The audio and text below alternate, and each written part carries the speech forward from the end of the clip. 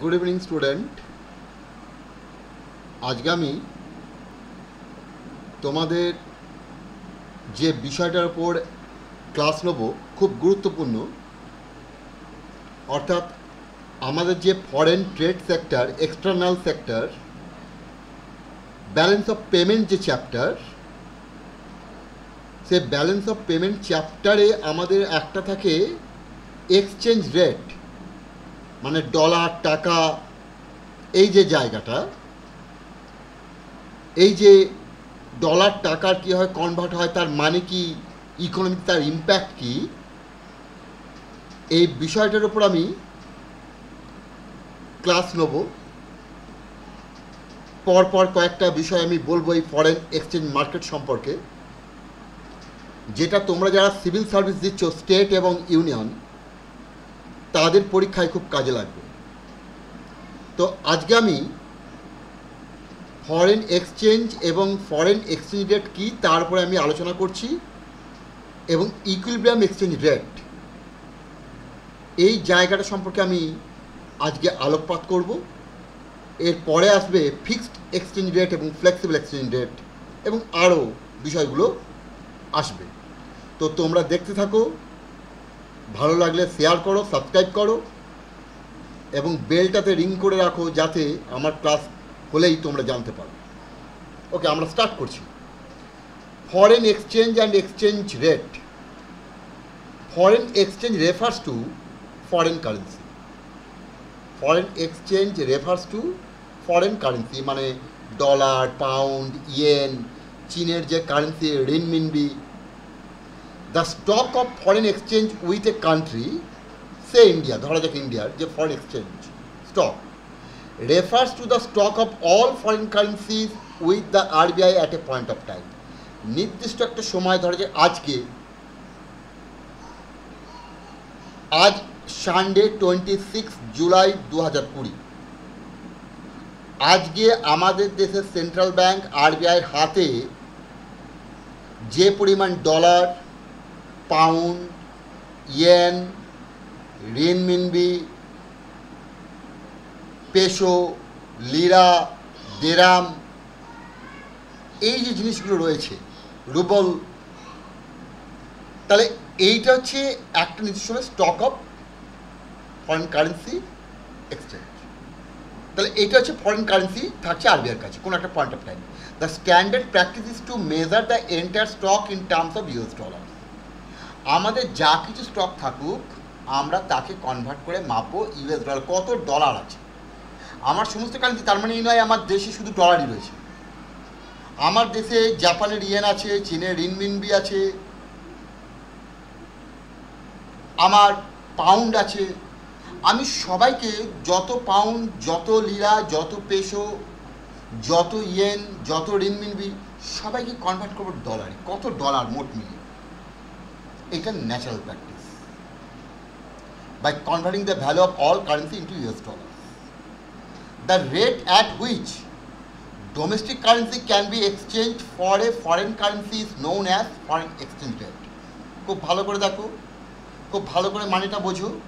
The rate at which domestic currency can be exchanged for a foreign currency অর্থাৎ একটা foreign currency নিতে গিয়ে আমি কতটা ডোমেস্টিক কারেন্সি দেবো? তুমি দোকানে গিয়ে দশ টাকা দিয়ে একটা পেন নিলে। তাহলে ধরা যাক দশ টাকা দিয়ে পেনের জায়গায় রইল ডলার তাহলে এটাকে কি বলা যায়?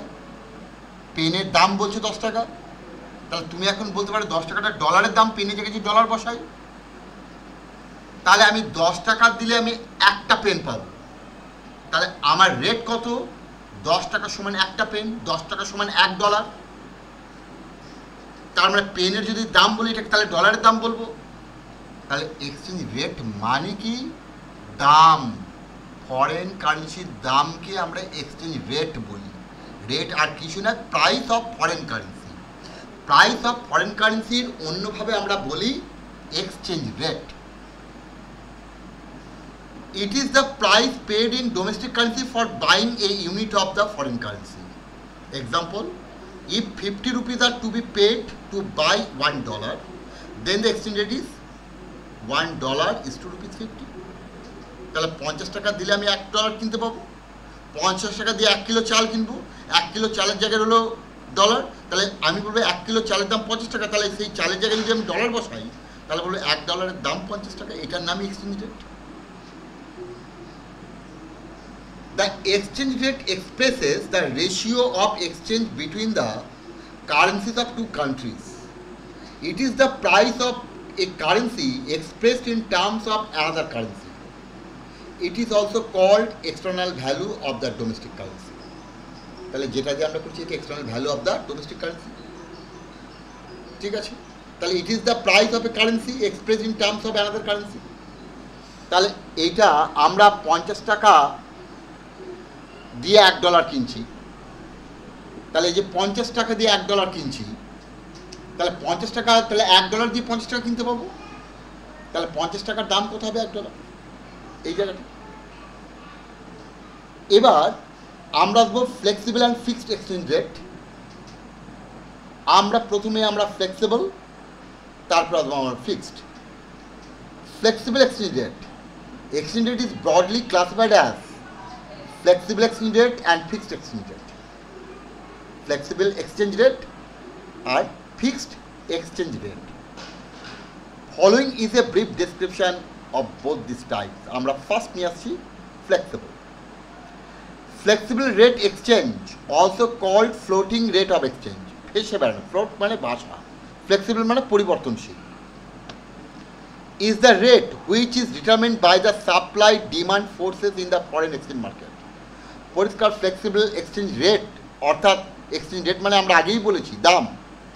এই যে ফরেন এক্সচেঞ্জের দামের ওঠানামা, এইটা ঠিক করে দেয় বাজারের দুটো শক্তি ফরেন এক্সচেঞ্জের ডিমান্ড এবং ফরেন এক্সচেঞ্জের supply it is also called free exchange rate as it is determine by the free play of supply and demand যেহেতু অবাধ, স্বাধীনভাবে যোগান এবং চাহিদার দ্বারা এই রেটটা স্থির হয়, তাই একে বলা হয়, হয়ে থাকে free exchange rate the exchange rate at which demand for foreign currency is equal to it supply is called par rate of exchange or equilibrium তাহলে ইকুইলিব্রিয়াম এক্সচেঞ্জ রেট মানে কি? যেখানে ডিমান্ড ফর ফরেন এক্সচেঞ্জ এবং supply of foreign exchange দুটোই দুটোই সমান। Clear এই জায়গাটা। Determination of flexible exchange rate. Demand for and supply of foreign exchange are the two basic determinants of flexible exchange rate. তাহলে পরিষ্কার আগে আমরা বলে নিয়েছি যে পরিবর্তনশীল ফ্লেক্সিবল ফ্লোটিং অথবা ফ্রি এক্সচেঞ্জ রেটকে ঠিক করে কারা দুটো বাজারি শক্তি, যোগান এবং চাহিদা তাহলে আমাদের আগে এদের সম্পর্কে জানতে হবে তাহলে চলে আসি আমরা demand for foreign exchange demand for foreign exchange. Other things remaining constant. Other things remaining constant মানে আমরা ধরে নিলাম টাইম আমরা ধরে নিলাম যে এক্সপোর্ট ইম্পোর্ট আমরা ধরলাম যে ফরেন এফডিআর মুভমেন্ট সব কিছু স্থির demand for foreign exchange is inversely related to the price of foreign exchange তাহলে ডিমান্ড ফর ফরেন এক্সচেঞ্জ বিদেশি মুদ্রার চাহিদা নির্ভর করবে তার দামের সঙ্গে ইনভার্সলি রিলেটেড নেগেটিভলি যদি ডলারের দাম বাড়ে ডলারের চাহিদা কমবে। যে ডলারের দাম কমে ডলারের চাহিদা বাড়বে। Inverse relation the higher the rate of exchange মানে higher the price of foreign exchange lower the demand for foreign exchange and vice versa diagrammatically demand for foreign exchange is indicated by downward sloping curve ভালো করে দেখো। আমরা Y অ্যাক্সিসে মেপেছি exchange rate এবং সেখানে আমরা এক্সচেঞ্জ করছি রুপিস এবং ইউএস ডলার এখানে demand and supply of foreign exchange ধরা যাক, আমাদের হচ্ছে যখন এক ডলার পঞ্চাশ টাকা দিয়ে এক ডলার আমাদের এক্সচেঞ্জ রেট বা price price of dollar foreign exchange হচ্ছে পঞ্চাশ টাকা। তাহলে তখন বাজারে আমার ডিমান্ড ফরেন এক্সচেঞ্জের ডিমান্ড হচ্ছে দুশো ইউনিট দুশো মিলিয়ন ডলার তাহলে যখন আমার exchange rate O R one তখন ডিমান্ড হচ্ছে ও এন এবার ধরা যাক এক্সচেঞ্জ রেটটা বাড়লো প্রাইস বেড়ে গেল, হয়ে গেল সত্তর টাকা সমান এক ডলার তাহলে আগে এক ডলার কিনছিলাম পঞ্চাশ টাকা দিয়ে, এখন সেই এক ডলারই কিনবো সত্তর টাকা দিয়ে। তাহলে ডলারের দাম বেড়ে গেছে। আগে তুমি পেনটা একটা যে পেনটা দশ টাকা দিয়ে কিনেছিলে, এখন সেই পেনটার দাম কুড়ি টাকা। তাহলে পেনটার দাম বেড়ে গেছে, তাহলে আগে যে ডলার কিনছিলে পঞ্চাশ টাকা, এখন সেই ডলারই কিনছো সত্তর টাকা দিয়ে, তাহলে ডলারের দাম বেড়ে গেছে। তাহলে আগে তুমি যতই ডলার কিনছিলে, এখন আর ততটা কিনতে পারবে না। দাম বাড়লে চাহিদা কম। তাহলে পরিষ্কার, এখন তোমার ডলারের ডিমান্ড হয়ে গেল একশো। তাহলে যে মুহূর্তে প্রাইস অথবা এক্সচেঞ্জ রেট হলো ওয়ার টু, এক ডলার সময় সত্তর টাকা সংসার demand for demand O N থেকে কমে হয়ে গেল। তাহলে আমার ডিমান্ড কমলো এম এন কেন? না এক্সচেঞ্জ রেট বাড়লো আর ওয়ান থেকে ওয়ার ওয়ান থেকে ওয়ার টু তাহলে ডিমান্ড বাড়লো, চাহিদা কমলো, অথবা আর টু থেকে যদি আর ওয়ানে আসি, তাহলে এম থেকে এনে যাব। তাহলে ইনভার্স রিলেশন তাহলে আমরা ইনভার্স রিলেশন দেখলাম। ডিমান্ড ফর ফরেন এক্সচেঞ্জ তার দামের সঙ্গে ইনভার্সলি রিলেটেড তাহলে এই জায়গাটা আমরা বললাম। Figure one shows that higher the exchange rate lower the demand for foreign exchange thus when exchange rate fifty rupees fifty for one dollar এই যে জায়গাটা dollar is two hundred million at n. When the exchange rate is rises to rupees 70 to 1 US dollar at R2 the demand shrinks to 100 million dollars at n. এবার আমরা আসি supply of foreign exchange other things remaining constant একই রকম আমরা ধরে নিচ্ছি, অন্য কিছু পাল্টাচ্ছে না। Supply of foreign exchange is positively related to the rate of foreign exchange that is price of foreign exchange তার মানে সাপ্লাইয়ের সঙ্গে তার দামের সরাসরি সম্পর্ক। যদি ফরেন এক্সচেঞ্জ রেট বাড়ে, তাহলে যোগান বাড়বে। দাম বাড়লে যোগান বাড়বে, দাম কমলে যোগান কমবে। তাহলে দামের সঙ্গে যোগানের সম্পর্ক সরাসরি। কেন, তোমার মনে হবে কেন? খুব স্বাভাবিক। একটা গল্প বলি। আমি একজন আলু ব্যবসায়ী, আলুর বিক্রেতা। আমি আজকে বাজারে আলু বিক্রি করলাম কুড়ি টাকা কিলো। আজকে বাজারে আমি আলু বিক্রি করেছি কুড়ি টাকা কিলো। আমি ধরা যাক একশো কেজি আলু বিক্রি করেছি আজকে। কুড়ি টাকা কিলো। কালকে বাজারে প্রতি কিলো আলুর দাম বেড়ে হলো পঁচিশ টাকা। তাহলে আমি কি করব? কালকে বিক্রি করব না করব না? স্বাভাবিকভাবে করব। তাহলে প্রশ্ন কেন করব? আমার আয় বাড়বে প্রফিট বাড়বে নাম্বার ওয়ান নাম্বার টু কালকে বেড়েছে, এই বাড়াটা নাও থাকতে পারে, কমে যেতে পারে। তাহলে এখনই আমি যত পারব আলু বিক্রি করব যেহেতু দাম বেড়েছে। তাহলে আমি যোগানদার দাম বাড়াটা আমার কাছে একটা উৎসাহমূলক ব্যাপার। আমার আয় বাড়বে, লাভ বাড়বে। তাহলে আমি চাইব বেশি আয়, বেশি লাভ, তাহলে বেশি করে বিক্রি করতে চাইব। তাহলে যোগান বাড়বে। সহজ হিসাব। পরে আমরা এর আরও তত্ত্বগত কারণে আসব ধীরে ধীরে। Higher the supply of foreign exchange and vice versa diagrammatically যখন ওই একই রকম এক ডলার সমান পঞ্চাশ টাকা। তখন আমাদের সাপ্লাই কত? একশো। এবার হয়ে গেলে এক ডলার সত্তর টাকা। অর্থাৎ বাজারে যদি আমি এক ডলার বিক্রি করি, পাবো সত্তর টাকা। আগে এক ডলার বিক্রি হলে পঞ্চাশ টাকা। তাহলে যেহেতু দেখব সত্তর টাকা পাবো, তাহলে আমি বেশি করে ডলার বাজারে নিয়ে আসব বিক্রি করার জন্য। কারণ অনেক বেশি করে টাকা আমি কনভার্ট করতে পারব, অনেক বেশি রুপি পাবো। তাহলে আমার যোগান বাড়বে দুশো। তাহলে যোগান রেখা ঊর্ধ্বমুখী।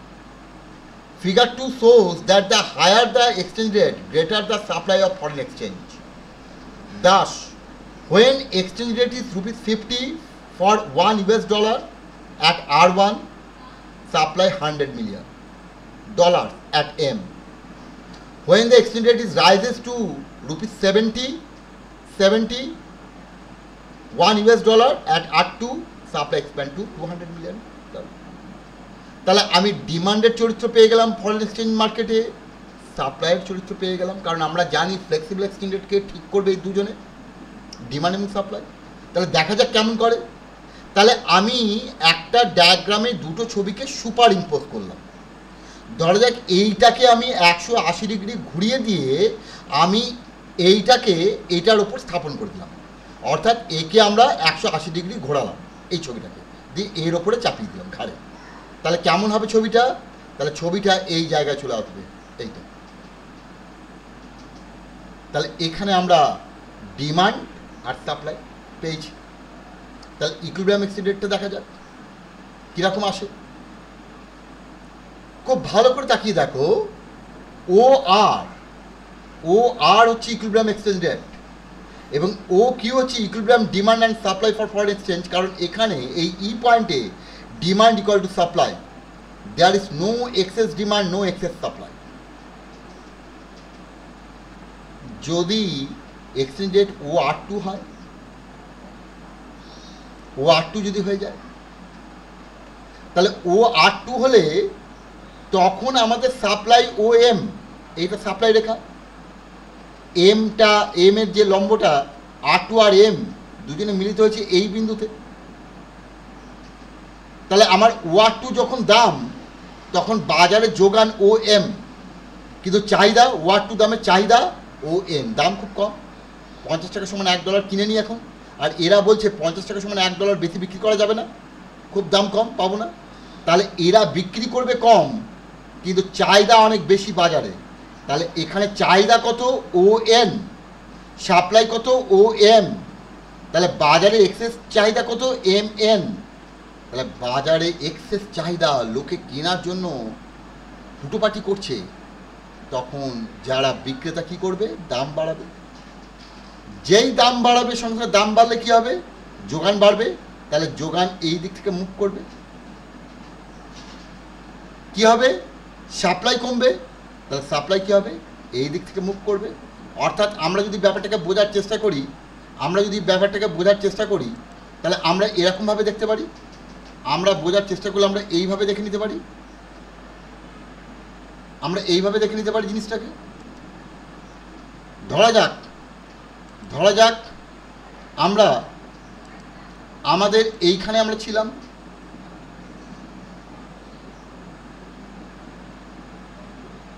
এই জায়গায় রয়েছে আমাদের ওয়াই অ্যাক্সিস এইটা আমাদের এক্স অ্যাক্সিস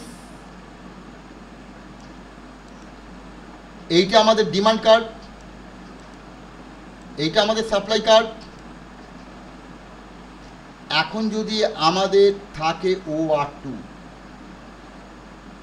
ও আর টু এটা ও আর টু ধরা যাক, এটা ও ও এইটা হচ্ছে আর টু আর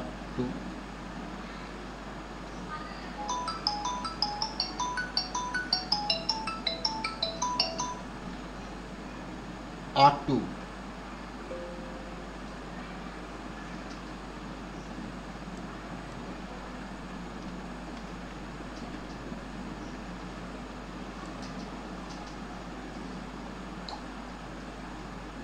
R2.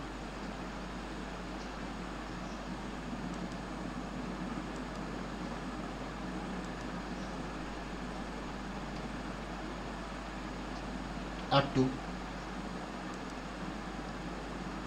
তাহলে এই পয়েন্টটাকে ধরা যাক, এই পয়েন্টটাকে ধরলাম আমরা পি